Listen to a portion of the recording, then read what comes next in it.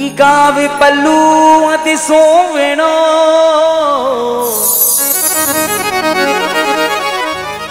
जिट ब्रह्माणी को धाम साचा मन सूझो कोई सिमरे हे मैया पूरण करी सबका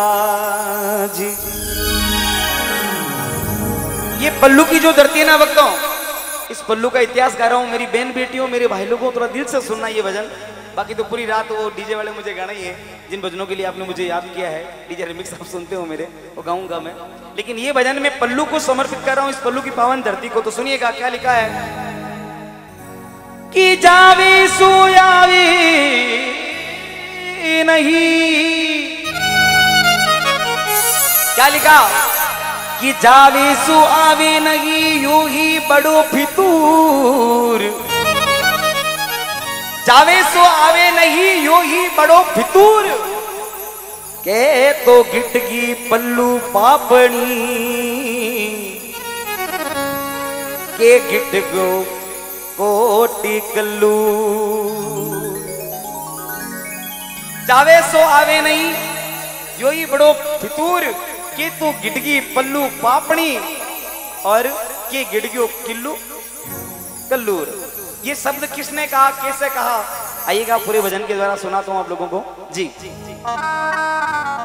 ही माता ब्रह्माणी आप बड़ी उपकारी।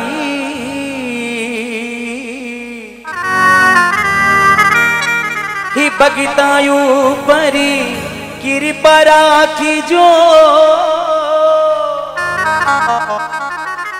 भगतायु परी कृपा की जो अरे गाँव पल्लू की माई हो ब्रह्माणी। आप बड़ी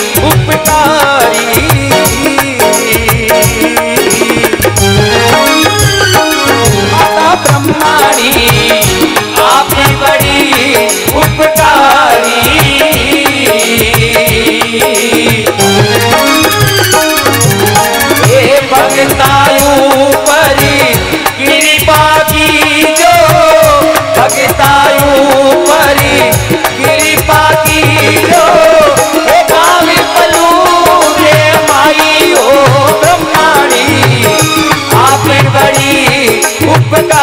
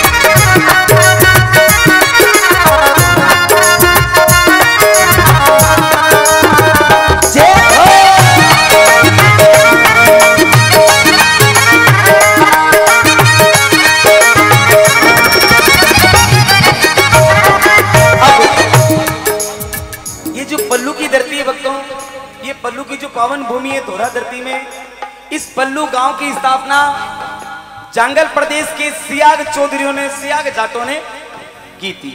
हम लोग सियाग कहते हैं, हमारी भाषा में आप लोग सियाग कहते हो। जंगल प्रदेश के सियाग जाटों ने इसकी स्थापना करी। अब बात ये बनती है कि पल्लू गाँव का नाम पल्लू कैसे पड़ा, सुनिएगा। मूंग दड़का नामक एक चौधरी थे, एक जाट थे। मूंग दड़का जाट थे, उनकी एक बेटी थी, भक्तों, जिनका नाम था पल्लू। मूंग दड़का चौधरी सियाग समाज की एक बच्ची थी, जिसका नाम था पल्लू दिल्ली पर शासक था साहब जादी का, साहब सिंह का। तो भक्ता उसके डर से मूंगदड़ नाम उस चौधरी ने अपनी बेटी पल्लू का विवाह उस दिल्ली की सल्तनत के शहजादे के साथ में कर दिया। लेकिन हमेशा दिल्ली के हमले आक्रमण की आशंका हमेशा बनी हुई रहती थी। ऐसी स्थिति में उसने उस शहजादी को अपने घर पर बुलाया और भक्तों, उसकी जो शक्ति थी, वो सभी को परेशान करता था। अंत उसका अंत ज़रूरी था। तो ऐसी स्थिति में उन्होंने उसे जहर दे करके और मारा।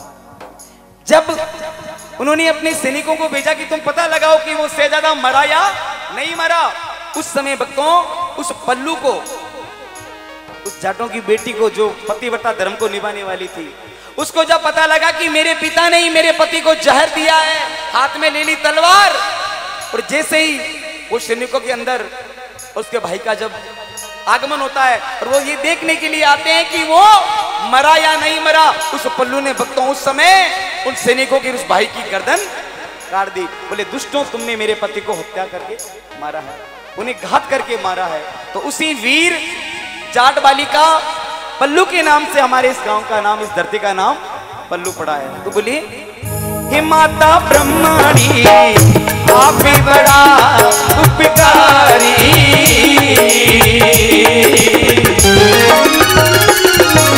हे भगतायु परी, ओ कृपा की जो भगतायु परी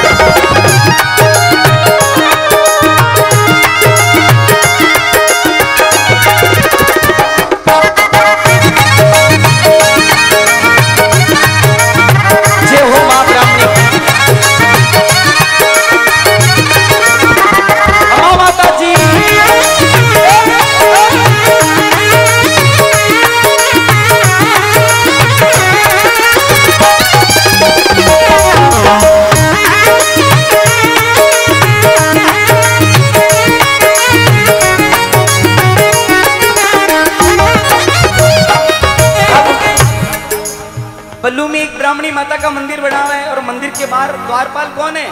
श्री साधुल जी महाराज। अब ये बताइए मुझे, जब अंदर माँ ब्रह्माणी मेन मुख्य माता जी विराजमान है, लेकिन कोई भी यात्री हज़ारों कोस से आता है तो पहले ब्रह्माणी को धोख नहीं लगाता है। पहले धोख किसको लगाएगा?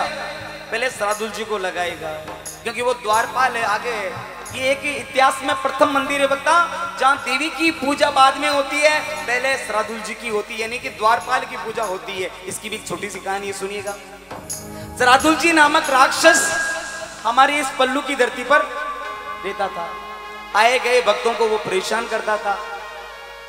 तो ऐसी स्थिति में सारे भक्त बड़े दुखी थे। उन सबने माँ भगवती से, ब्राह्मणी से अरदास की। और किस प्रकार से माँ ब्राह्मणी माँ ब्राह्मणी ने उनको आशीर्वाद दिया। तो बोली राक्षस बैरी तो पल्लू की माई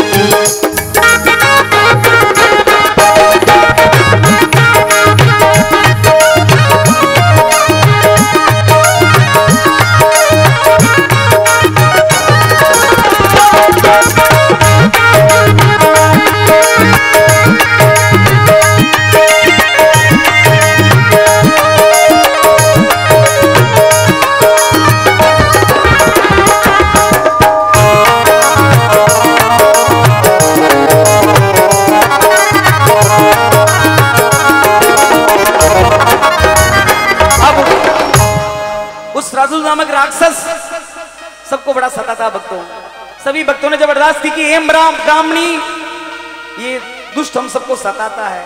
उस समय माँ ब्राह्मणी ने भक्तों चमत्कार दिखाया और उस श्रादुल राक्षस से पूछा, अरे बोली भक्त, तेरे मन में क्या है? तेरा विचार क्या है? तू आए गए भक्तों को क्यों सताता है? उस वक्त में माँ ब्राह्मणी ने बोला रे श्रादुल तेरी मन में कोई इच्छा हो अभिप्सा हो तो मांग ले, वरदान क्या चाहिए? तो ऐसी स्थिति में उस श्रादुल राक्षस ने बोला, माँ, वरदान मैं नहीं मांगूँगा, वरदान तो आपको ही देना पड़ेगा। उस समय माता जी बड़ी प्रसन्न हुई और उन्होंने श्रादुल जी राक्षस को यह वरदान दिया कि कलयुग में लोग मुझसे भी पहले तुम्हारी पूजा करेंगे और मेरी मुख्य मंदिर में द्वारपाल के रूप में तुझे पूजा जाएगा। और अगर दूर दूर से हज़ारों कोसों से भक्त आएँगे और तुझे धोख लगाने से पहले मुझे धोख लगा दिया तो उसकी वो यात्रा विफल हो जाएगी। इस प्रकार सरदुल जी महाराज और माँ ब्राह्मणी का यह मंदिर बना। अंत में बोले सभा समिति बनाई, कथा तो माँ की सुनाई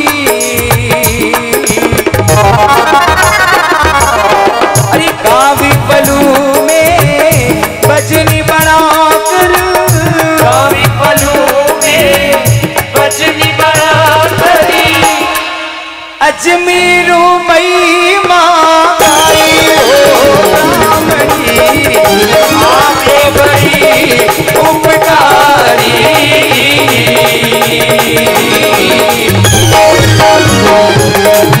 अरे